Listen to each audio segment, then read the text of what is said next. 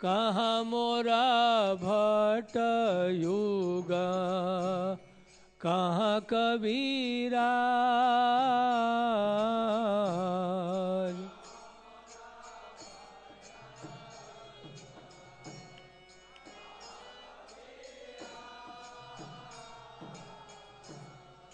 एका काले कोथा गेला गोरा नटरा।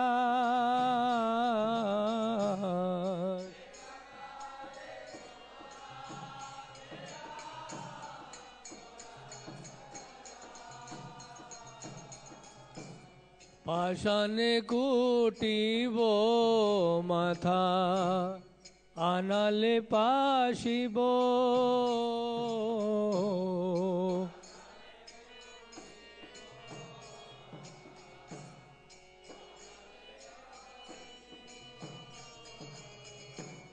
গৌরাঙ্গা গুণেরা নিধি কোথা গেলে পাবো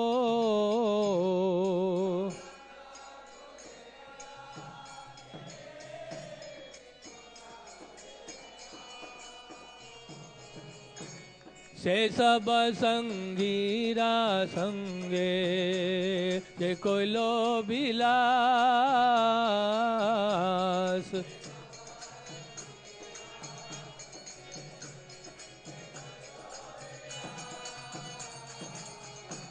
से संगा न पाइया कांदे नरोत्तमो दास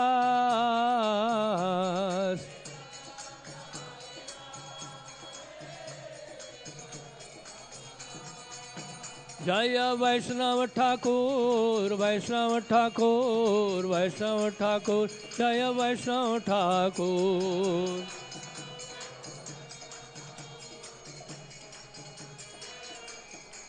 प्रभुपाद प्रभुपाद प्रभुपाद जय प्रभुपाद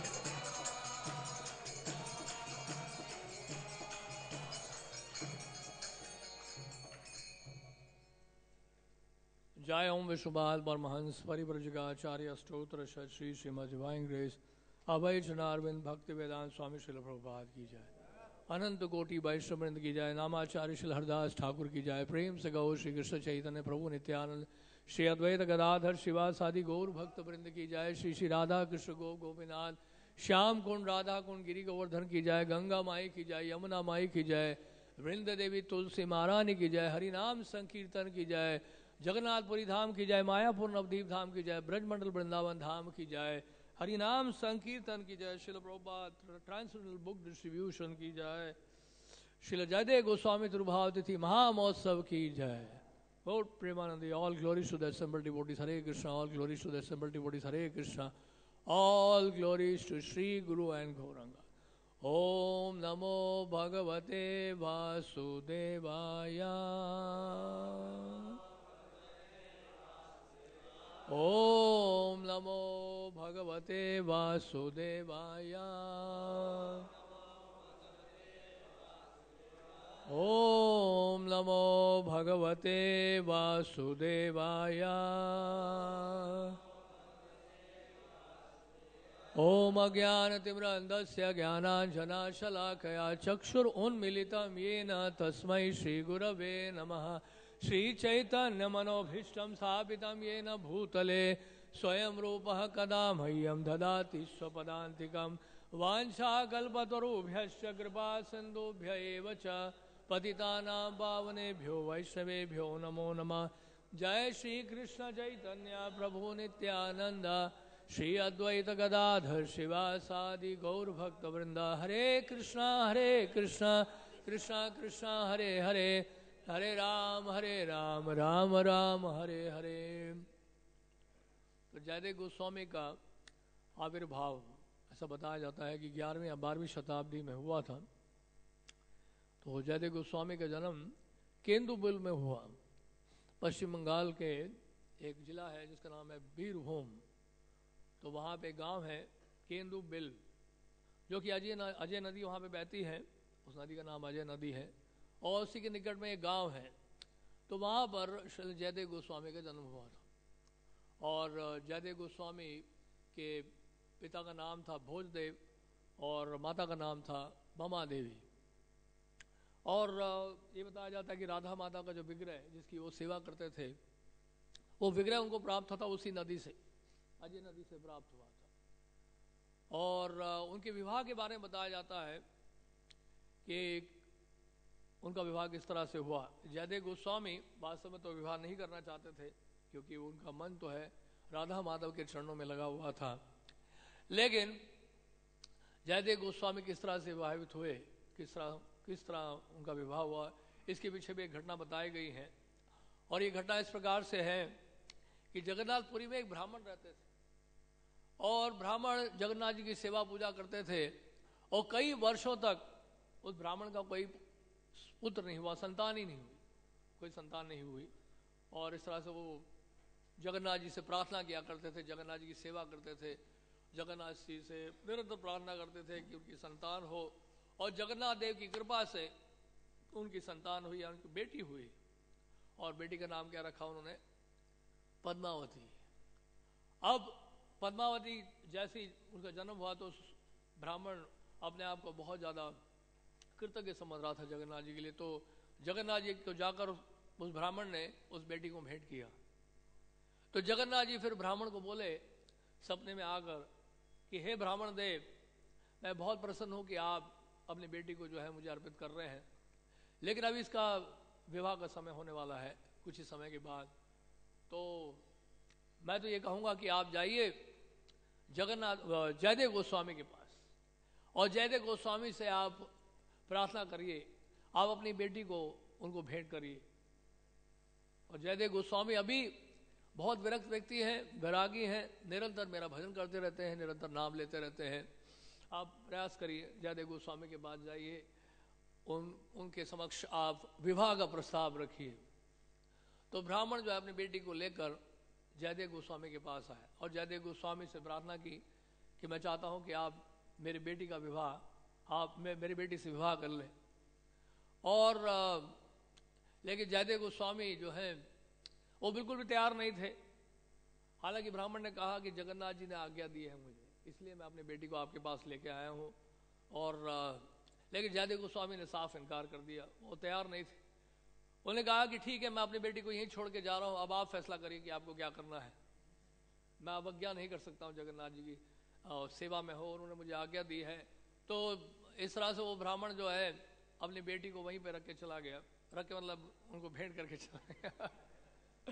और फिर उसके बाद जयदेव गोस्वामी सोच में पड़ गया, अब करें क्या? तो जयदेव गोस्वामी ने कहा, ठीक है, अच्छी बात है, आपको जगन्नाथ जी ने आज्ञा दी है, लेकिन आपको जहाँ जाना है, आप, मैं आपको वहाँ छोड़ दूँगा, लेकिन आप यहाँ नहीं रह सकते। जयदेव गोस्वामी ने मना कर दिया।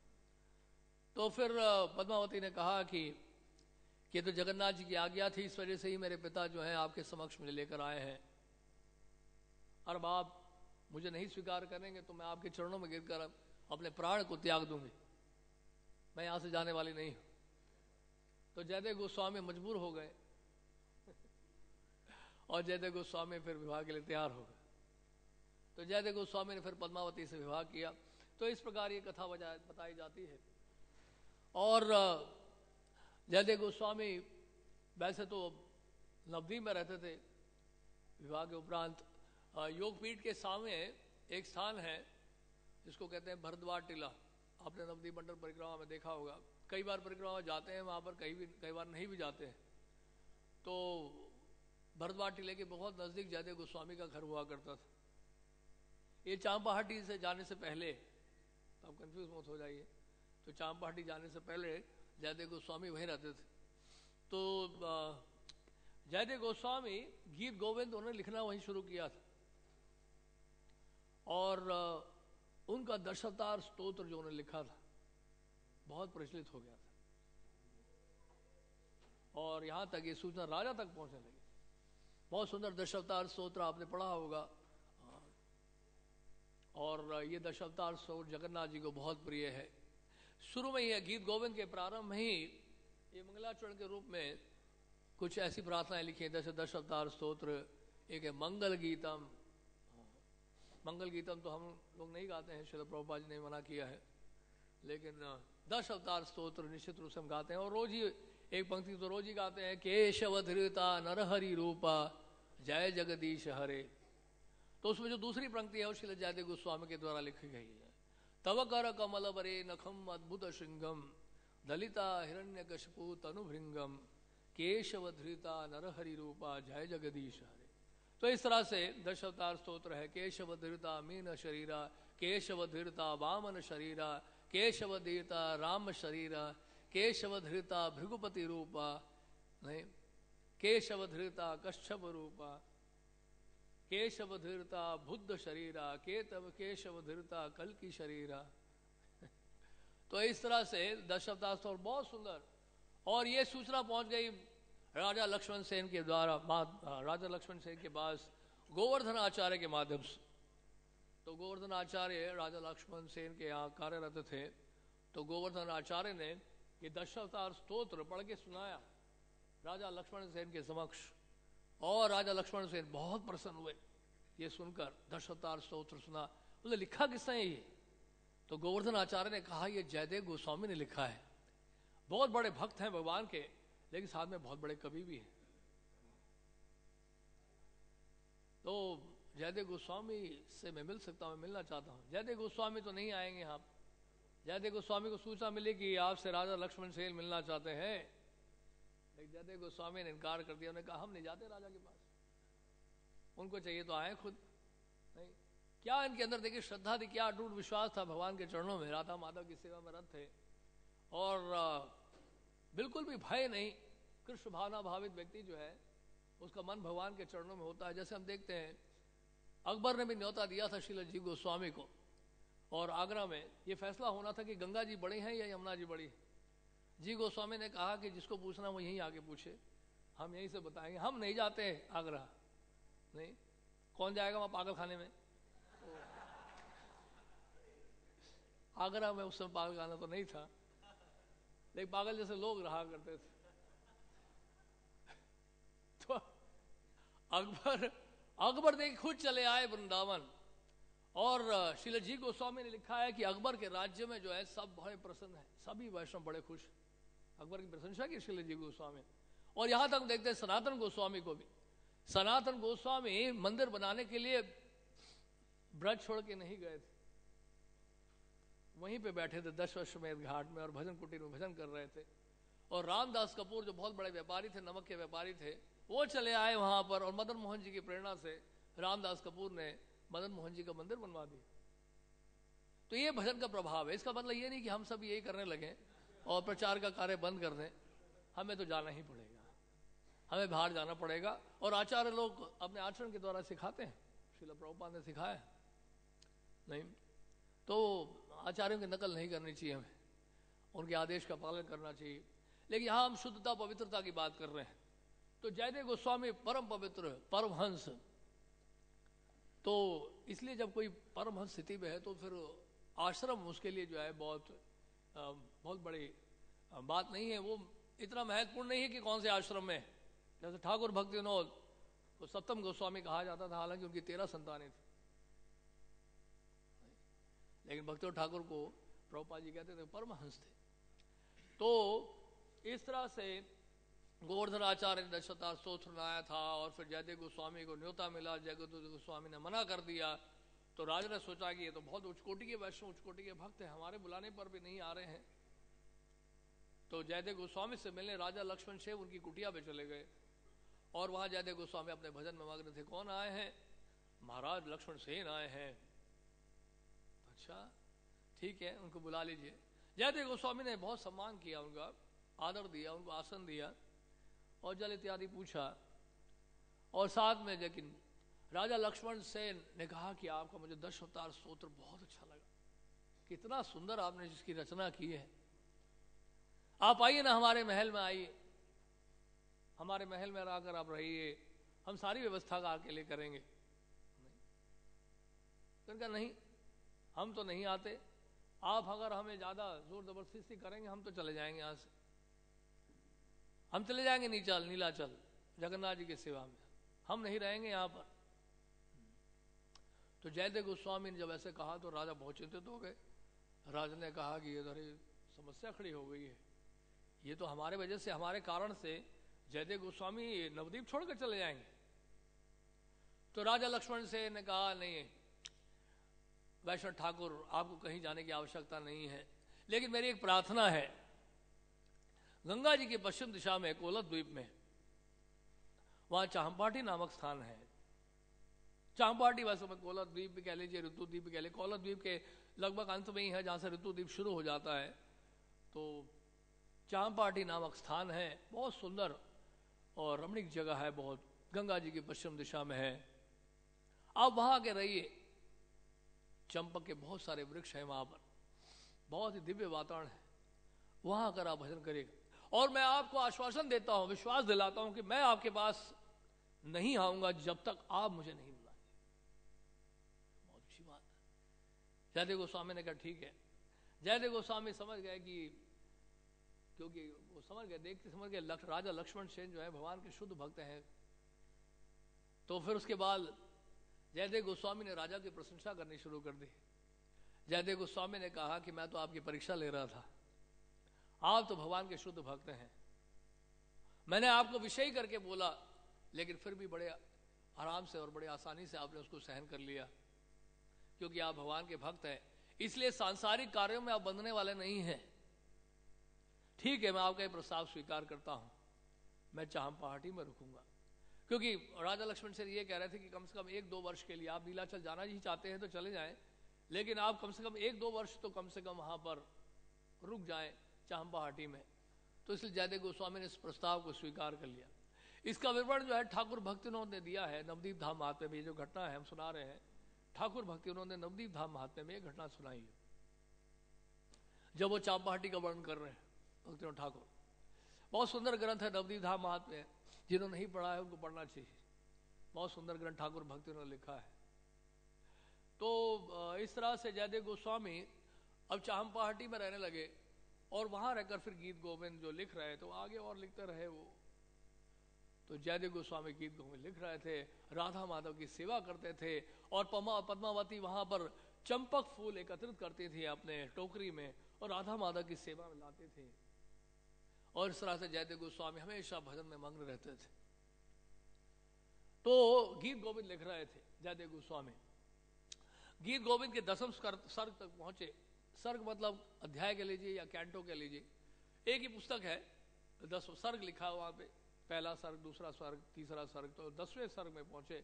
तो वहाँ पर आ, अब उनको लीला स्फूर्ति हुई।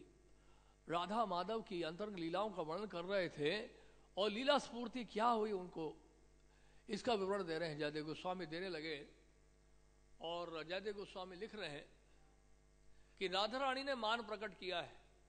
किसी कारणवश कृष्ण जो है समय पर नहीं पहुँचे हैं रास के लिए।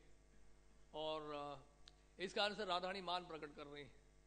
और राधाणी जब मान प्रकट करती है, उनका मान भंग करना असंभव के समान है। राधाणी मान अगर प्रकट कर लें तो कृष्ण के लिए भी बहुत बड़ी समस्या हो जाती है। क्योंकि कृष्ण भी तो किसी को प्रसन्न कर रहे हैं ना। पूरा ब्रह्मांड और जितनी भी अनंत कोटि ब्रह्मांड है अनंत कोटि भक्त है, सब भगवान को प्रसन्न करने का प्रयास कर रहे हैं। लेकिन भगवान श्री कृष्ण क्या करते हैं? वो राधाणी को प्रसन्न करने का प्रयास करते हैं। ये उनकी सेवा है। क्योंकि वहाँ पे ब्रज में, वहाँ पे राधा रानी ईश्वरी है। एक ईश्वरी राधा आर सब वृत्तिया। तो परम भगवान श्री कृष्ण श्याम सुंदर जो है, वो राधाणी को प्रसन्न करने में जुटे हुए हैं। और राधाणी ऐसे में मान भंग कर, मान प्रकट करने लगती हैं। अब इस मान को भंग कैसे किया जाए? और इसके लिए राधारानी फिर तैयार ही नहीं हुई। उनका मान भंग ही नहीं हो रहा था। मान भंग की लीला तो कई बार हम सुनते हैं। ये तो बरसाना में भी मानगढ़ है और वहाँ पे भी मान राधारानी ने मान प्रकट किया था। सेवा कुंज में भी राधारानी मान प्रकट करती हैं कई बार। जब विलंब कर देते हैं, भगवान श्री कृष्ण पहुँचते नहीं हैं। समय पर नहीं पहुँचते हैं। और कई बार तो राधारानी जो है फिर कृष्ण को जो है लताओं से बाँध देती हैं। और यही है राधा दामोदर। राधा दामोदर जो हम बोलते हैं, वो इसलिए है कि राधारानी जो है, कृष्ण को लताओं से बाँध देती हैं। और बोलते हैं कि आपने जो है, बहुत विलंब कर दिया, हम आपको सजा देंगे। तो उनको जो है, फिर वो लताओं से बाँध देती है मान प्रकट करती है। तो यहाँ पर जो है जयदेव गोस्वामी लिख रहे हैं कि राधारानी मान प्रकट कर रही थी और कृष्ण मनाने का प्रयास कर रहे हैं और राधारानी का मान भंग नहीं हो रहा, ये लीला स्फूर्ति किसको हो रही है? जयदेव गोस्वामी को हो रही है और फिर वो पंक्ति लिख रहे हैं ये। क्या लिख रहे हैं? स्मरण गरल खंडनम। स्मर गरल खंडनम? स्मर गरल खंडनम। हाथ उनके कांपने लगे हमारे रुक्मणी कृष्ण वो बैठे, बहुत अच्छा करते हैं रोल इसका। हमें देख के याद आ गया। रुक्मणी कृष्ण ने यहाँ पे जयदेव गोस्वामी का किया था। बहुत बढ़िया किया था, एकदम। ऐसा लग रहा है साक्षात जयदेव गोस्वामी बैठे हैं। भाव के सारे लक्षण प्रकट किए थे। और जब भी हम नवदीप मंडल परिक्रमा जाते हैं तो वहाँ पे चांपाहाटी में भी करते हैं ड्रामा। तो जयदेव गोस्वामी बनते हैं, प्रभु जी, बहुत अच्छा लगता है। नहीं, कभी यहाँ कराएँगे प्रभु जी का ड्रामा, जयदेव गोस्वामी के ऊपर। नहीं, अगले साल के लिए राधाष्टमी के लिए बुक कर लेते हैं। बहुत अच्छा करते हैं ड्रामा। ड्रामा में बहुत एक्सपर्ट है, इनका ड्रामा मैंने देखा नहीं, ड्रामा। आपके भक्तों ने देखा नहीं है। बहुत, ये तो बहुत विनम्र रहते हैं, करते नहीं है ड्रामा, लेकिन बहुत अच्छा एक्टिंग करते हैं। तो क्या बता रहे थे? तो स्वर गरल खंडनम। तो ऐसा लिखते हुए इनके हाथ कामने लगे जयदेव गोस्वामी के, और आगे लिख नहीं पा रहे थे वो। और उन्होंने वहीं पे कलम को रख दिया। सोच में पड़ गए हो कि भगवान तो जो है अनंत कोटि ब्रह्मांड के स्वामी है, अचिंत शक्तियाँ उनकी पराशय शक्ति विविधेव श्रूयते। मल्टीफेरियस पोटेंसीज है भगवान श्री कृष्ण की। और, श्रीमती राधाणी तो उनकी लादनी शक्ति है। तो ये कैसे संभव है क्योंकि लीला स्फूर्ति में क्या देख रहे हैं कि श्याम सुंदर, माधव क्या कर रहे हैं, राधानी के चरणों को लेकर अपने मस्तक में रखना चाह रहे हैं। ये लीला स्फूर्ति हो रही थी जयदेव गोस्वामी को। तो इसलिए उन्होंने लिखा नहीं आगे। ये कैसे लिख दू मैं? कि कृष्ण तो देखिए यहाँ पे फिर वो, क्या बात है कि जब लीला की बात आती है तो फिर वो तत्व पे जब विचार होने लगता है तो फिर समस्या खड़ी हो जाती है। तो कैसे करें? इसलिए जो ब्रज के भक्त होते हैं, उनमें ज्ञान का आवरण होता ही नहीं है। नहीं? वहाँ ऐसा कोई नहीं सोचता है ब्रज में। गोपियाँ नहीं सोचती हैं ऐसे, या राधारानी नहीं सोचती हैं। नहीं, वो तो और मान प्रकट करती हैं। लेकिन फिर उनका हृदय पिघल जाता है। राधारानी के चरणों को लेकर जब कृष्ण माथे पर रखते हैं तो कृष्ण का राधारानी का हृदय पिघल जाता है। और, अन्यथा वो ये विचार नहीं करते, कृष्ण तो त्रिभुवन के स्वामी हैं, या अचिंत शक्तियाँ हैं उनकी। सभी कारणों के कारण है। ये विचार यहाँ जयदेव गोस्वामी कर रहे हैं। तो जयदेव गोस्वामी इस प्रकार सोच रहे थे और उतने में जयदेव गोस्वामी ने वही कलम रख दिया। उन्होंने कहा ठीक है बाद में लिखेंगे। सोचने दीजिए थोड़ा सा और विचार करते हैं इसके ऊपर। इस लीला के ऊपर और, विचार किया जाए। तो जयदेव गोस्वामी ने पद्मावती से कहा कि पद्मावती मैं जा रहा हूँ स्नान के लिए गंगा जी में। वापस लौटूँगा फिर आकर प्रसाद ग्रहण करूँगा। तो वो स्नान करने निकल गए। और स्नान करने निकले तो फिर स्नान करने के कर रहे थे स्नान करने चले गए। तो इसी बीच में स्वयं परम भगवान श्री कृष्ण श्याम सुंदर जो है, वहाँ पे आ गए, जयदेव गोस्वामी का रूप धारण करके अब वहाँ जब पहुँचे तो पद्मावती जो है देखिए अरे, ये तो अभी गए थे स्नान करने के लिए, बहुत जल्दी आ गए आप। बहुत स्नान करके बहुत जल्दी आ गए। बस मैं जल्दी आ गया, मैं, मुझे याद आ गया कि मुझे क्या लिखना था। तो मैं इसलिए सोचा कि वापस आके मैं लिख लूँ पहले, और उसके बाद फिर दोबारा जाऊँगा। तो जयदेव गोस्वामी कमरे के भीतर गए और वहाँ पर उन्होंने देखा, यानी परम भगवान श्री कृष्ण ने सुनहरे अक्षरों में लिखा, क्या था पहली पंक्ति? स्वरगरल खंडनम मम शीर्षि मंडनम। मम शीर्षि मंडनम नहीं लिखा हुआ था, लेकिन अब जादे गोस्वामी ने लिखा, मम शीर्षि मंडनम, देही पद पल्लवम उदारम। तो ये लिखने के बाद वापस आ गए, बाहर आ गए, पद्मावती, प्रसाद लेकर आओ। पद्मावती ने प्रसाद परोसा। जयदेव गोस्वामी ने बहुत जयदेव गोस्वामी ने परम भगवान श्री कृष्ण जयदेव गोस्वामी के रूप में थे। उन्होंने बहुत संतुष्ट होकर उस प्रसाद को ग्रहण किया है। अपना ही प्रसाद ग्रहण किया खुद। उन्हीं का ही था। तो वो ग्रहण किया उन्होंने खूब ग्रहण किया। पद्मावती पंखा कर रही थी। जयदेव गोस्वामी यानी श्याम सुंदर जो है उस प्रसाद को ग्रहण कर रहे थे और ग्रहण करने, करने, करने के उपरांत उन्होंने कहा कि पद्मावती अब मैं चलता हूँ। फिर से चले गए। अब चले गए तो जाने के बाद फिर आप जयदेव गोस्वामी जो ओरिजिनल जिसको कह सकते हैं जब, वापस आए, उन्होंने कहा कि पद्मावती, चलो ठीक है, मैं प्रसाद लेता हूँ। तो क्या? वो एकदम पद्मावती उलझन में पड़ गई उनको समझ में नहीं आ रहा था कि हो क्या रहा है सुबह से। पहले जा रहे हैं, फिर तुरंत आ रहे हैं, और उसके बाद फिर जो आ गए थे, उन्होंने प्रसाद ले लिया, प्रसाद लेके चले गए, और कुछ ही क्षणों के बाद फिर से जयदेव गोस्वामी वापस आ गए, फिर से मेरे पति वापस आ गए। अब कह रहे हैं कि मैंने प्रसाद नहीं लिया है, अब मतलब एकदम से पद्मावती उलझन पड़ गई। उनको लगा कि मैं क्या करूँ समझ नहीं आ रहा मुझे। सोच में पड़ गए एकदम से। तो पद्मावती ने कहा, मुझे तो कुछ समझ नहीं आ रहा है। जयदेव गोस्वामी कमरे के भीतर गए। उनको लगा कि कुछ गड़बड़ है, कोई आया ज़रूर था यहाँ पर। तो कमरे के भीतर गए। उनको थोड़ा शक हुआ। तो जयदेव गोस्वामी कमरे के भीतर गए और देखा, वहाँ पे लिखा हुआ है। मैंने तो इतना ही लिखा था, ये दूसरी पंक्ति किसने लिख दी? स्वरगरल खंडनम, मम शीर्षी मंडनम, देही पद पल्लवम उदारम। देख एकदम से भाव के सारे लक्षण जागृत हो गए। भाव के लक्षण प्रकट करके दिखाए थे प्रभु जी ने, बड़े सुंदर तरीके से। नहीं, हमारे तो कोई भाव के लक्षण तो प्रकट होते नहीं है। कम से कम ड्रामा में देख सकते हैं हम लोग। नहीं। तो वो एकदम से जयदेव गोस्वामी के शरीर में सारे भाव के लक्षण प्रकट हो गए। रोमांच हो गया, कंपन हो गया आँखों से अश्रु बहने लगे, भाव के सारे लक्षण प्रकट होने लगे। अरे, साक्षात ब्रजेंद्र नंदन, श्याम सुंदर, श्री कृष्ण आए थे और उन्होंने इस पंक्ति को पूरा किया है। पद्मावती, देखो तुम कितनी भाग्यशाली हो। तुम्हारे हाथ से श्याम सुंदर ने प्रसाद ग्रहण किया। हम तो इतने दिन से सेवा कर रहे हैं यहाँ राधा माधव की। हमसे तो प्रसाद नहीं ग्रहण किया प्रत्यक्ष रूप में। लेकिन आप कितनी भाग्यशाली हो कि स्वयं श्याम सुंदर श्री कृष्ण को आपने प्रसाद परोसा है। हो भाग्य है आपका। तो इस तरह से फिर तो ये बहुत सुंदर लिखा है, जयदेव गोस्वामी ने जो पंक्ति लिखी है, वो इस प्रकार से है। स्मर खंडनम मम शीर्षि मंडनम देही पद पल्लम उदारम, ज्वलती मई दारुणो, मनन, मदन मदन कदन आनलो हर तो तद उपाहित विकारम। बहुत सुंदर बात लिखी है। इसका अर्थ संक्षेप में इस प्रकार से है। मैं प्रार्थना कर रहा हूँ कि ये पद पल्लव अति उदार हैं। क्या प्रार्थना कर रहे हैं? अभी प्रार्थना बताएँगे क्या कर रहे हैं। कि ये पद पल्लव अति अति उदार है। जैसे गुरुदेव के चरणों की तुलना भी जो है, कमल से की गई। श्री गुरु चरण कमल, केवल भक्ति सत्वा तो केवल भक्ति गुरुदेव के चरणों में है। तो केवल भक्ति का मतलब अनर्थ नहीं है। नहीं? तो इस प्रार्थना को अगर हम लोग एक साधक के रूप में भी लें तो बहुत ही महत्वपूर्ण सिद्धांत यह बताया जा रहा है। क्या बताया जा रहा है? मैं प्रार्थना कर रहा हूँ कि ये पद पल्लव अति उदार है। इसलिए तो दास ठाकुर कह रहे हैं, श्री गुरु चरणे रति, यही से उत्तम गति तो चरणों में जब रति हो जाती है तो गुरुदेव के जो चरण है, वो भी अति उदार है। क्योंकि भक्ति सिद्धांत सरस्वती ठाकुर ने क्या बोला?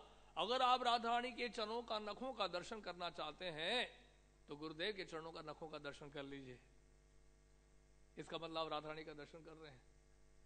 तो वो अति उदार है। इसलिए हम बोलते हैं श्री श्री गुरु। श्री गुरु मतलब राधा रानी के प्रतिनिधि हैं।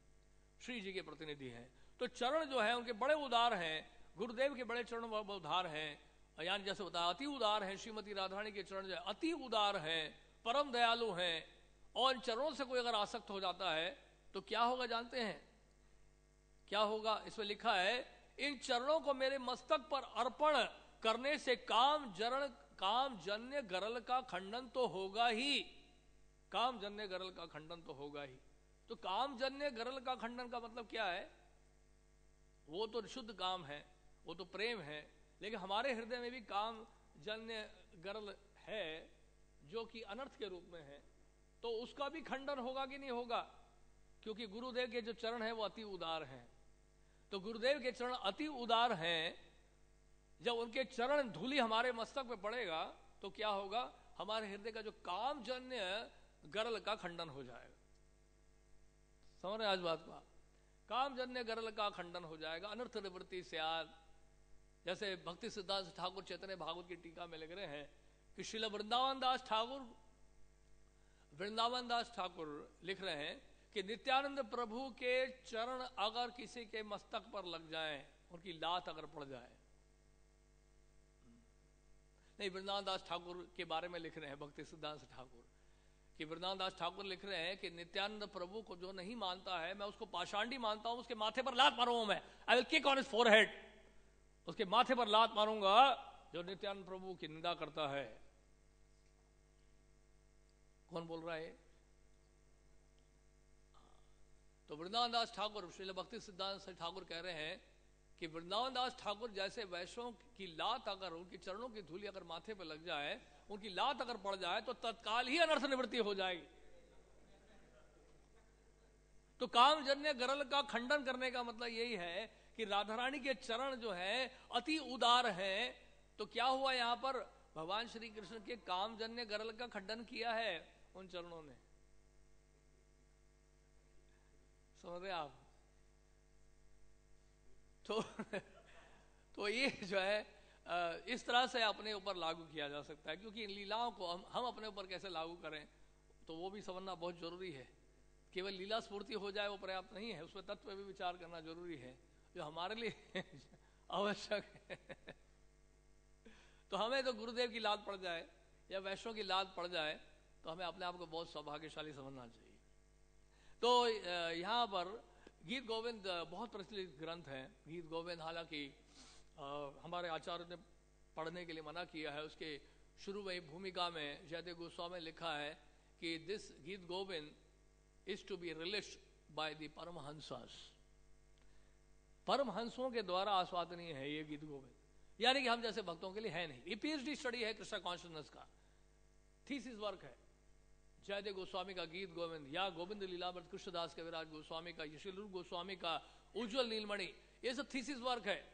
पोस्ट ग्रेजुएट स्टडी है पोस्ट ग्रेजुएट भी नहीं है डॉक्टरेट स्टडी है। Doctorate study in Krishna consciousness इस ग्रंथ को अगर खोल भी लेंगे आप जयदेव गोस्वामी के इस गीत ग्रंथ को पढ़ गए, पढ़ पढ़ भी लेंगे अगर गलती से तो ऐसा लगेगा कि कोई सांसारिक नॉवल पढ़ रहे हैं आप। और इस कारण से हमारा मन और दूषित होगा, क्योंकि हमारे मन में विकार आ जाए। और जैसी विकार आएगा इन लीलाओं को पढ़ते हुए तो हमारे अनर्थ घटेंगे नहीं, अनर्थ बढ़ जाएँगे। तो इस तरह से इसलिए हमारे आचार्य लोग मना करते हैं। तो गीत गोविंद, यहाँ तक ठाकुर भक्तिनोद को बोला था उनके सुपुत्र, यानी कि उनके शिल भक्ति सिद्धांत सती ठाकुर ने कहा कि वो गीत गोविंद गोविंद लीलामृत को प्रकाशित करना चाह रहे थे। उन्होंने कहा कि, वैसे तो मना कर रहे थे पहले, लेकिन उन्होंने बार बार प्रार्थना की तो उन्होंने कहा, ठीक है, आप अपने लिए पुस्तक छाप सकते हो। तो इस तरह से भक्ति ठाकुर ने कहा। तो ये गीत गोविंद बहुत ही प्रचलित ग्रंथ है, लेकिन जगन्नाथ जी को बहुत प्रिय है। जगन्नाथ जी को बहुत प्रिय है, और यहाँ तक स्वरूप दामोदर रामानंद राय गंभीरा में गीत गोविंद से विद्यापति के गीत, चंडीदास के गीत गंभीरा में श्री चैतन्य महाप्रभु को सुनाया करते थे। चैतन्य महाप्रभु बहुत प्रसन्न होते थे, बहुत संतुष्ट होते थे गीत गोविंद को सुनकर। तो गीत गोविंद से संबंधित कुछ घटनाएँ हैं। समय का अभाव है, बहुत सारी बातें हैं। तो यहाँ पर कुछ घटनाएँ मैं बताना चाहूँगा। तो पहली घटना ये बताई जाती है। एक जो है मोची था, जूते सिल रहा था, और उसके बाद कुछ शिलाएँ रखी हुई थी, शालिग्राम शिला। और वो मोची गीत गोविंद से गा रहा शालिग्राम शिला का उपयोग कर रहा था जूते जूते ठीक करने के लिए। यानी कि कील ठोक रहा था शालिग्राम शिला से, और जूते बना रहा था वो। और साथ में गीत गोविंद भी गा रहा था। एक ब्राह्मण आया और ब्राह्मण ने आगे उसको डांटा। ब्राह्मण ने कहा, दुष्ट जानते तुम क्या कर रहे हो? शालिग्राम शिला है। तुम उससे जूते बना रहे हो, तुम्हें नरक में जाना पड़ेगा। लाओ मेरे को दो। तो ब्राह्मण तो नहीं समझ में आया, वो वैदिक भक्ति में लगा हुआ था। वो क्या जाने? नहीं। इसलिए जो विधि विधानों का पालन जो करते हैं, वैदिक भक्ति में लगते हैं, उनको बड़ा सावधान रहना चाहिए। ऐसे ब्रजवासी होते हैं या फिर राग मार्ग में जो भजन में लगे हुए हैं, उनके बारे में कुछ कह देना, उनके बारे में कुछ अपशब्द कर देना, या उनके बारे में गलत विचार लाना मन में, ये बहुत ही ज़्यादा नुकसानदायक हो सकता है।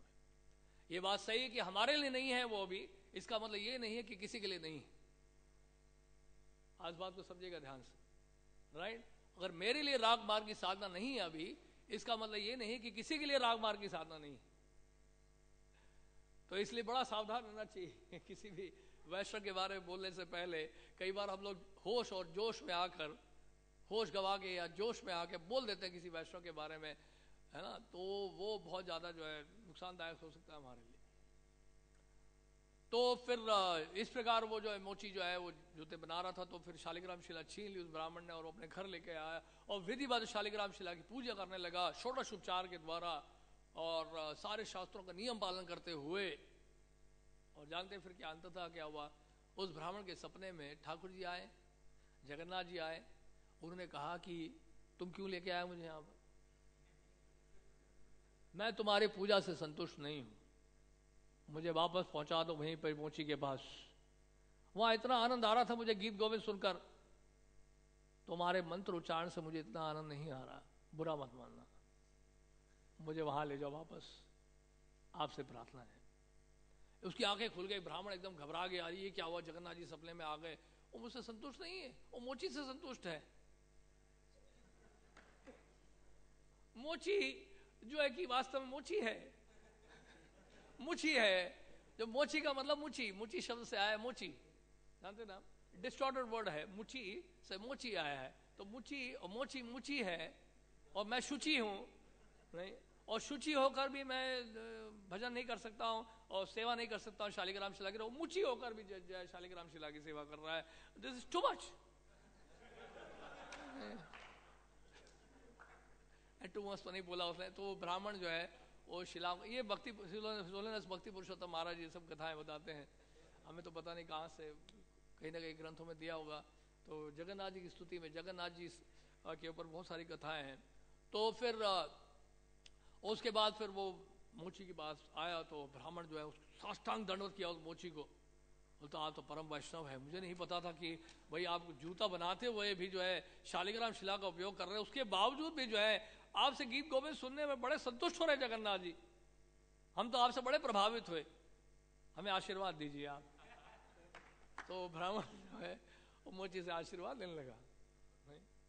शुचि होए, मुचि होए, जय कृष्ण त्यजे मुचि होए, शुचि होए, सही कृष्ण भजे नहीं तो ये लिखा है चेतन चरतामल में, जो शुचि है वो मुचि हो जाता है, अगर कृष्ण का भजन नहीं करते, और मुचि शुचि हो जाता है, अगर आप कृष्ण का भजन करते हैं। तो इनका भजन स्वीकार कर रहे थे जगन्नाथ जी, क्योंकि इनके मुख से वो गीत गोविंद सुन रहे थे। एक घटना है, दूसरी घटना है उड़ीसा के राजा थे तो उड़ीसा के राजा बहुत बड़े भक्त थे। भक्त नहीं थे वास्तव में, लेकिन उतने बड़े भक्त नहीं थे लेकिन उनको द्वेष था मन में, जयदेव गोस्वामी के गीत गोविंद को लेकर। उनको लगा कि जयदेव गोस्वामी का गीत गोविंद इतना प्रचलित है कि प्रत्येक दिन यहाँ पर जो देवदासी हैं, वो जगन्नाथ जी की स्तुति करते हैं, गीत गोविंद से सुनाती हैं, और मेरा, मैं भी गीत गोविंद लिखूँगा। तो राजा ने गीत गोविंद लिखना शुरू किया, और राजा गीत गोविंद लेकर उसने जो है जगन्नाथ जी को प्रस्तुत किया, हे जगन्नाथ, मैंने भी गीत गोविंद लिखा है। आप इसको पढ़िए, आपको सुनिए। आप फिर देखिएगा कि जयदेव गोस्वामी का गीत गोविंद जो है, हमारे जो इस रचना से जो है, वो थोड़ा कम है। तो उसके बाद जगन्नाथ जी जो है, उनको सुनाया जा रहा था और जगन्नाथ जी के शरीर में उन्होंने कहा कि मैंने इस गीत गोविंद को, अपने लिखे हुए गीत को मैंने वस्त्रों में लिख दिया है और यह वस्त्र जो है, जगन्नाथ जी को पहनाए जाएँगे। जगन्नाथ जी कितने प्रसन्न होंगे मुझसे। तो वस्त्रों में जयदेव इनका जो राजा का लिखा हुआ गीत गोविंद लिखा गया, उस वस्त्र को पहनाया गया जगन्नाथ जी को, और जगन्नाथ जी ने उसके बाद उसको पहना, उनको पहनाया गया। और उसके बाद अगले दिन क्या देखा? जब पुजारी जो है, खोल रहा था, पट को खोल रहा था तो उसे देखा कि राजा के द्वारा जो भेंट किया हुआ गीत गोविंद है, सो कॉल्ड तथाकथित, वो सब ज़मीन पे बिखरा हुआ था। और के शरीर में किसका गोविंद लिखा हुआ था? जयदेव गोस्वामी के द्वारा लिखित गीत गोविंद के शरीर में था। जयदेव गोस्वामी, जगन्नाथ जी ने मतलब ये दिखाया कि मैंने तुम्हारे सो कॉल्ड गीत गोविंद को रिजेक्ट कर दिया है। एक ही गीत गोविंद है जो कि श्री जयदेव गोस्वामी के द्वारा लिखा गया है। तो ये घटना, ये वो घटना है जिसके बाद जो है फिर जगन्नाथ मंदिर में प्रत्येक दिन गीत गोविंद से जगन्नाथ जी की स्तुति शुरू हो गई थी। तो ये घटना इस प्रकार से है कि एक दासी जगन्नाथ जी की सेविका वो जगन्नाथ वल्लभ बगीचे में वहाँ फूल चुनते हुए गीत गोविंद की स्तुति कर रही थी। और उस दिन रात को जगन्नाथ जी मंदिर छोड़कर उस बगीचे में चले गए। अब पुजारी आए वापस। उन्होंने कहा "अरे, मंदिर में जगन्नाथ जी है ही नहीं गायब हो गए कहाँ चले गए? ऐसा होता है कि बार लोग जगन्नाथ जी को उठा के ले जाते हैं। यहाँ पर थे हमारे इस ग्रेस प्रणव प्रभु जिन्होंने गाजियाबाद का मंदिर बनवाया है। आप जानते हैं वहाँ की हिस्ट्री इतिहास जगन्नाथ जी का इतिहास वो यहीं पे थे। तो काफ़ी दिन से वो प्रयास कर रहे थे, जगन्नाथ जी को लेके जाना चाहते थे वो। लेकिन हमारे जो अध्यक्ष महोदय थे इस काल के प्रभु, वो इतने मतलब कन्विंस नहीं थे कि लेकर जाए। वो एक दिन गाड़ी लेकर आए और वीआईपी रूम में सब जगन्नाथ जी थे हमारे। वो कमरे के अंदर घुसे, जगन्नाथ जी को उठाया, उन्होंने गाड़ी में रखा, वो पैक करके ले गए। और अब आए, देखा वो कमरे में कमरे में जगन्नाथ जी ही नहीं। अरे, कहाँ गए जगन्नाथ जी गायब तो ये वही जगन्नाथ जी हैं जो गाजियाबाद मंदिर में हैं।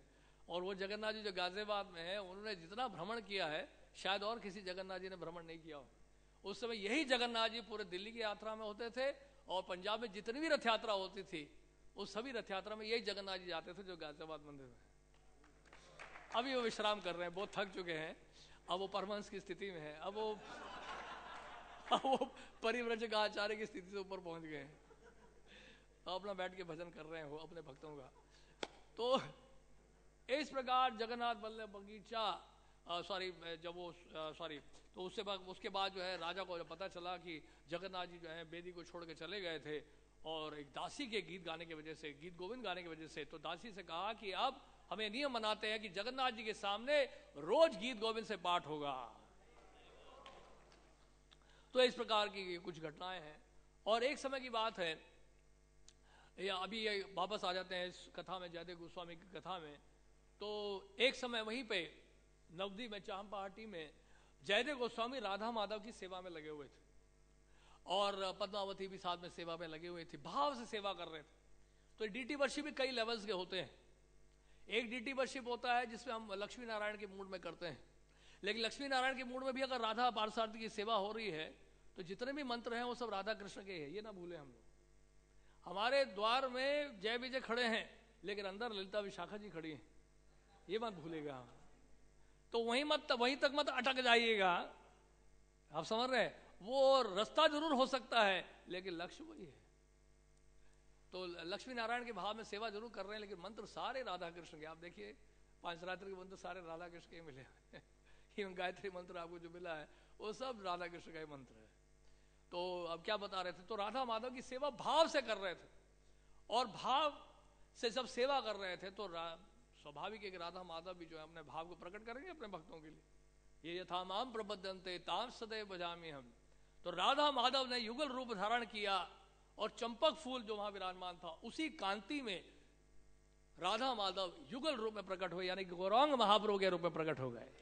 बोले, गौरंग महाप्रभु खीज तो शशिनंदन गौर हरि प्रकट हो गए और गौरंग महाप्रभु का जो मुखमंडल है, वो इतना सुंदर था। लाखों लाखों करोड़ों चंद्रमा से भी अधिक सुंदर दिखाई पड़ रहे थे गौरंग महाप्रभु। उनके केश घुंघराले थे, उनके गले में बहुत सुंदर वैजंती माला थी, हाथ उनके इतने लंबे लंबे थे। और गौर कांति के चेतने महाप्रभु राधा सॉरी जयदेव गोस्वामी के समक्ष खड़े हुए और की ओर देकर मुस्कुरा रहे थे। तो इस प्रकार जयदेव गोस्वामी ने जब देखा तो उनकी आँखों से आँसू बहने लगे, पद्मावती की आँखों से आँसू रहने लगे, भाव के सारे लक्षण प्रकट हो गए, रोमांच होने लगा, कंपन होने लगा, अश्रु धारा बहने लगी आँखों से। और ये गौरव महाप्रभु का स्वरूप देखकर जयदेव गोस्वामी पद्मावती ने देखा, और कभी वो मूर्छित होते, कभी वो मूर्छित होते, पद्मावती मूर्छित होते तो जयदेव गोस्वामी मूर्छित हो जाते, भाव के सारे लक्षण प्रकट होने लगे, और गौरव महाप्रभु ने क्या किया, अपने हाथों से उनको खड़ा किया। उठाया। और गौरंग महापुर ने कहा कि बहुत जल्दी मैं इस नदिया ज़िले में प्रकट होने वाला हूँ। और अवतारों के जितने भक्त हैं, वो सब मेरे साथ प्रकट होंगे। और मैं नाम संकीर्तन के द्वारा युग धर्म या प्रेम, कृष्ण प्रेम का वितरण करूँगा संकीर्तन के माध्यम से। तो इस प्रकार वो बोलने लगे। अब फिर वो कहने लगे कि सती माता के घर से मैं जल्दी प्रकट होने वाला हूँ और लगभग 24 वर्ष की आयु में मैं संन्यास ग्रहण कर लूँगा। और फिर मैं नीलाचल चला जाऊँगा। और वहाँ जाकर वहाँ जाकर मैं आपके लिखे हुए गीत गोविंद का आस्वादन करूँगा। मैं आपको एक बात बताना चाहता हूँ कि आपका गीत गोविंद, लिखा हुआ गीत गोविंद मुझे बहुत प्रिय है। ये चैतन्य महाप्रभु कब बोल रहे हैं, जब जयदेव गोस्वामी थे। तो भक्तिनोद ठाकुर नवदीप धाम आत्मे में ये जो कई सारी घटनाएँ लिखी हैं, वो तब की घटना है जब महाप्रभु साक्षात इस भौम लीला को प्रकट करने के लिए, प्रकट नहीं हुए थे। तो ये पहले की लीला है सारी। तो चैतन्य महाप्रभु प्रकट हुए थे इस तरह से जयदेव गोस्वामी के समक्ष। और उसके बाद फिर उन्हें कहा कि, उन्होंने सोचा कि नवदीप धाम तो चिन्ह में है। और आप चिंता मत करो। जब आप शरीर त्यागोगे, शरीर त्यागने के बाद, अभी आप नीला चल जाओ। और जब शरीर त्याग दोगे तो शरीर त्यागने के बाद आप वापस नवदीप धाम में ही आने वाले हो। और यहाँ पर आपको मेरी शाश्वत सेवा प्राप्त हो जाएगी। तब तक आप जाइए नीलाचल जाइए। और जब ये सुना जयदेव गोस्वामी पद्मावती ने वो एकदम से रोने लग गए। विलाप करने लग गए ये क्या महाप्रभु कह रहे हैं? हमें नीलाचल जाना पड़ेगा नवदीप छोड़ के जाना पड़ेगा। ऐसा लगता है कि हमसे कोई अपराध हुआ है नवदीप वासियों के चरणों में। अच्छा तो यह होगा यहाँ पर पशु पक्षी बनकर रहे। शरीर त्यागना भी पड़े तो त्याग देंगे हम लेकिन यहाँ पशु पक्षी के रह, रूप के में रहना पड़े। तो हमें तो नवदीप नहीं छोड़ना है। महाप्रभु, गौरंग महाप्रभु प्रकट हो गए थे, ये कह के। तो बोले, गौरंग महाप्रभु, गौरंगा, हम नवदीप नहीं छोड़ना चाहते हैं, महाप्रभु, गौरंगा, हम नहीं छोड़ना चाहते हैं नवदीप। हमें नीलाचल नहीं जाना है। आप हमें यही सेवा दीजिएगा। नवदीप से इतना आसक्त थे नहीं? तो लेकिन फिर उसके बाद आकाशवाणी हुई। अब चैतन्य महाप्रभु दोबारा दर्शन नहीं दिए, लेकिन आकाशवाणी हुई। उन्होंने कहा कि महाप्रभु ने कहा कि आप अभी जाइए नवदीप अब नीलाचल जाइए। देखिए, अब आप जाएँगे ना तो दो कार्य संपन्न होंगे। आपने एक समय राजा लक्ष्मण सेन को कहा था, आपको याद होगा कि आप नीलाचल चले जाओगे। आपने कहा था ना कि आप नीलाचल चले जाओगे तो जगन्नाथ जी आपका इंतज़ार कर रहे हैं नीलाचल में, वही इच्छा आपकी पूरी हो रही है। जगन्नाथ जी आपकी सेवा लेना चाहते हैं, आपको देखना चाहते हैं वहाँ पर। आप जाइए और जगन्नाथ जी की सेवा करिए। जगन्नाथ जी की सेवा करके आपको कृष्ण प्रेम प्राप्त होगा। और उसके बाद जब आप शरीर त्याग देंगे, वहाँ पर तो वापस आपको कहाँ पर? या इसी नवद्वीप में नित्य सेवा प्राप्त हो जाएगी। तो आपकी दो इच्छाएँ पूरी हो जाएँगी। आप जाइए, कृपा करके आप जाइए। तो ये देखिए, कई बार इतने तरह की परीक्षा लेते हैं भगवान। जैसे प्रभुपाद वृंदावन धाम नहीं छोड़ना चाहते हैं, लेकिन उनके गुरुदेव की आज्ञा है तो गुरुदेव की आज्ञा को पूरा करने के लिए प्रभुपाद अमेरिका चले गए तो अमेरिका जाना कोई बहुत बड़ा खुशी का कारण नहीं है कि प्रभुपाद बड़े खुश नहीं I am going to the United States you know I got a visa I am going cargo ship. I got a, got a separate cabin. The captain is really helping me. I'll chant Hare Krishna, Hare Krishna, and be happy there.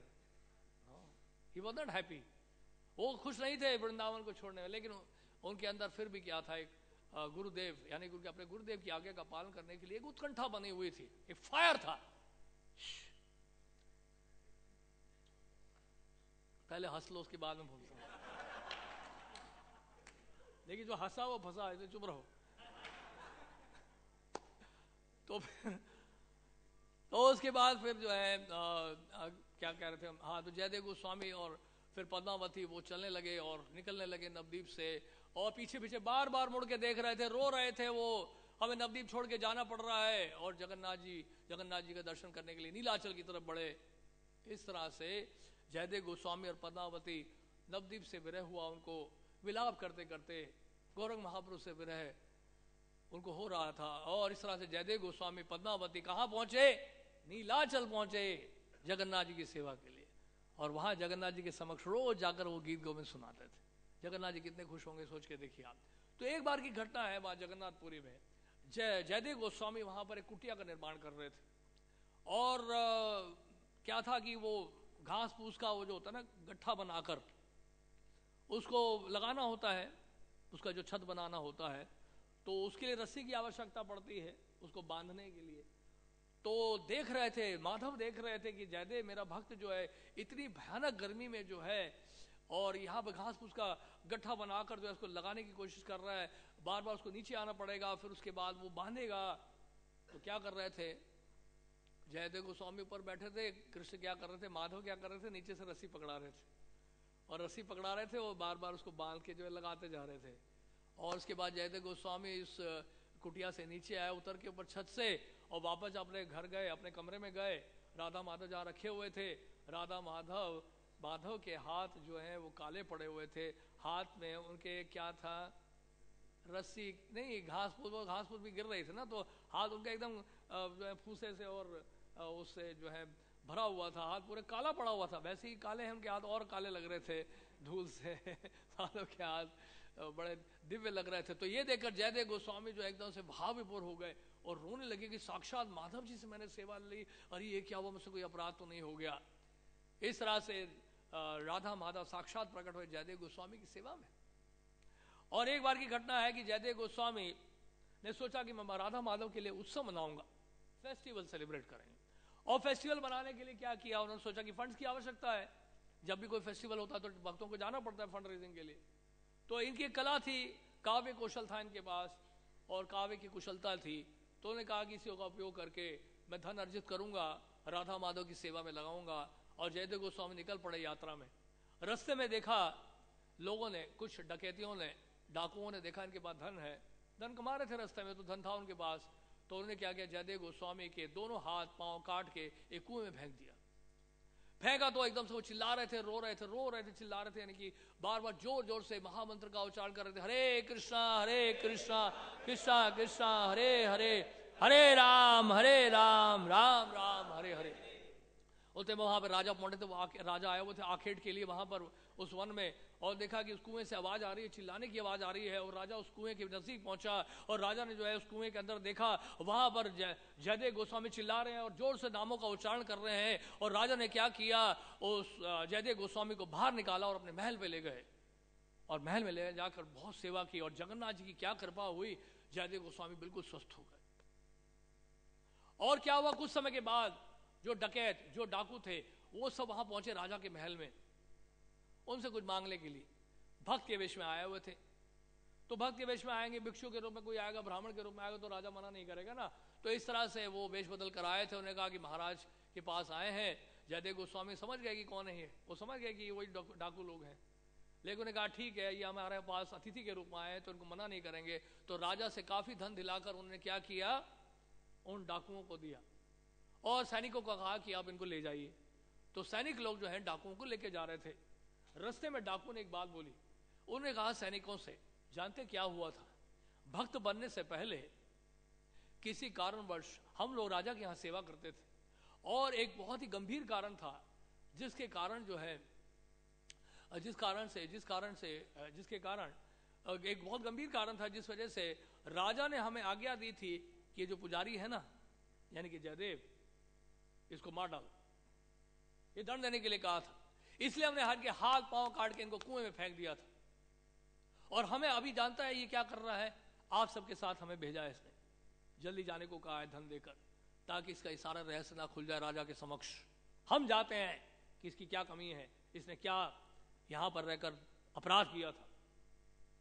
जैसे उन्होंने कहा, उन चोरों ने कहा जो एक भक्त वेश में थे, एक ब्राह्मण के वेश में थे, जहाँ धरती फटी और जैसी धरती फटी और ये भी नीचे चले गए धरती निकल गई। माथा पृथ्वी ने देखा कि ये झूठ बोल रहे हैं शुद्ध भक्तों के चरणों में अपराध कर रहे हैं वो सारे के सारे डाकू जो हैं वो ज़मीन के अंदर चले गए। उनका हरी बोल हो गया। तो इस प्रकार जो है फिर वो सारे डाकू हैं इस प्रकार से समाप्त हुए। तो, तो जयदेव गोस्वामी मतलब जयदेव गोस्वामी ने राजा को आके बोला कि ये जो डाकू थे ये वास्तव में मैं पहचान गया था कि डाकू थे। ये जो भक्त के रूप में आए थे, ये डाकू तो मैं जानता हूँ, और इन्होंने मेरे साथ जो किया, वो तो किया। लेकिन संत जो होते हैं, भक्त जो होते हैं, वो कभी शत्रुता नहीं रखते किसी से। अजात शत्रु शांता, साधवा साधु भूषणम। इसलिए हमने जो है, हमने विरोध नहीं किया। लेकिन अगर ठाकुर जी को दंड देना होगा तो इन्होंने जो अपराध किया, उसका दंड उनको मिल ही जाएगा, जैसे कि मिल गया है। तो जयदेव गोस्वामी की उदारता को देखकर, उनके संत स्वभाव को देखकर राजा बड़े प्रसन्न हुए और यहाँ तक कि राजा ने और की पत्नी ने, दोनों ने जयदेव गोस्वामी से दीक्षा ग्रहण कर ली। तो जयदेव गोस्वामी ने उस राजा को दीक्षा दी और उसके बाद फिर एक घटना यहाँ पर और बता रहे हैं। एक घटना और ये बता रहे हैं कि एक बार क्या हुआ कि पद्मावती की परीक्षा लेना चाह। किसने? राजा की पत्नी ने। राजा की पत्नी से बड़ा घनिष्ठ मित्रता थी पद्मावती की। तो एक दिन राजा की पत्नी ने कहा, आप जानते हैं कि आपके पति देव जयदेव गोस्वामी की मृत्यु हो गई है। क्योंकि अब हुआ क्या था कि जो रानी का जो भाई था, उसकी मृत्यु हो गई थी। और अब रानी को यह डर था कि जो भाई की पत्नी है, वो कहीं अग्नि में अपने आप को प्रवेश ना करा ले। तो ये डर बना हुआ था। तो पद्मावती ने कहा था रानी को कि ये जो सतीपता स्त्री है, वो पति के शरीर त्यागने पर तुरंत ही शरीर त्याग देती है। वो जीवित नहीं रहती है। तो इस बात की परीक्षा लेने के लिए रानी ने क्या किया? ये बात बोली, झूठ बोली कि जयदेव गोस्वामी की मृत्यु हो गई। और जैसे ही बोला तो पद्मावती ने उसी समय शरीर छोड़ दिया। ये देखकर हैरान हो गई, अरे तो बात समझ, ये तो पतिव्रता स्त्री है। वो जाके राजा को बोली, महाराज, ऐसी घटना हो गई है, मेरे से बहुत बड़ी गलती हो गई है, अब मुझे समझ नहीं आ रहा कि क्या करूँ। अब जयदेव को पता चलेगा तो वो क्या सोचेंगे? तो महाराज जयदेव को बुलाया कि मेरी पत्नी से गलती हो गई, रानी से गलती हो गई, आप उन्हें क्षमा करें। आप आपकी कृपा से ये पुनः जीवित हो सकती हैं। आपको, हमारी तो यही प्रार्थना है कि आप उनको पुनः जीवित करें। तो जयदेव गोस्वामी ने क्या किया? जयदेव गोस्वामी ने उनके कानों में हरि नाम का उच्चारण किया। हरे कृष्ण हरे कृष्ण कृष्ण कृष्ण, हरे हरे हरे राम हरे राम राम राम, हरे हरे। और इस नाम के उच्चारण से जानते क्या हुआ? पद्मावती, जाग गई। जीवित हो गई फिर से। यह है घटना। तो इस प्रकार, और इस तरह से जयदेव गोस्वामी जो है ये बताया जाता है कि अंतिम समय जगन्नाथपुरी में शरीर त्यागा था। और उससे पहले वो अपने वृंदावन भी गए थे, कुछ समय वहाँ भी रहे थे। और फिर उसके बाद अपने जन्म स्थान केंदु बिल में भी गए। और वहाँ पे काफ़ी समय तक भजन भी किया था उन्होंने। और एक घटना वहाँ ये भी बताई जाती है कि एक दिन ऐसा हुआ कि वो गंगा जी के स्नान के लिए किसी कारणवश नहीं जा पाए, क्योंकि काफ़ी दूर तक जाना होता था, वो चल नहीं पा रहे थे ठीक से। तो जानते साक्षात गंगा देवी जो है, गंगा जी जो है, गाँव में प्रवेश कर गए। गंगा जी के बारे में बता रहे थे ऋषि कुमार प्रभु। तो साक्षात गंगा जी जो है उस गाँव में प्रवेश की और इस तरह से गंगा देवी की कृपा हो गई और जयदेव गोस्वामी ने वही स्नान किया। तो पौष मास में आज के दिन जो है जयदेव गोस्वामी का तिरुभाव हुआ और बहुत सारी शिक्षाएँ मिलती है। जयदेव गोस्वामी कितना सहन किए थे और इतना कुछ होने के बावजूद भी जयदेव गोस्वामी ने उन डाकुओं को माफ़ किया और जयदेव गोस्वामी का भाव देखिए, उनकी रचना देखिए, जो भी उन्होंने रचना लिखी या जो भी उन्होंने ग्रंथ लिखे उन्होंने राधा माधव की प्रसन्नता के लिए लिखी। हरे कृष्ण। शिल प्रभुपाद की जय। हरे कृष्ण।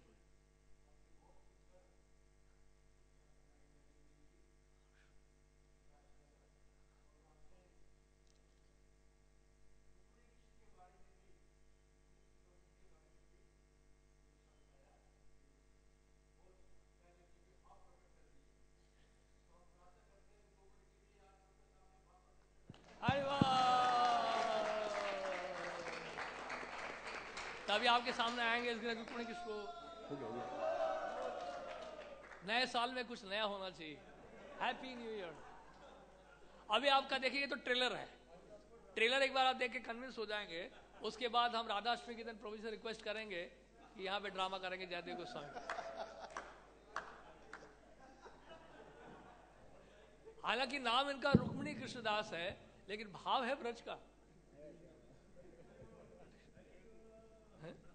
नहीं नहीं लगा नहीं। हरे कृष्ण। नहीं जो भी होता प्रभु जी करवाते थे सब।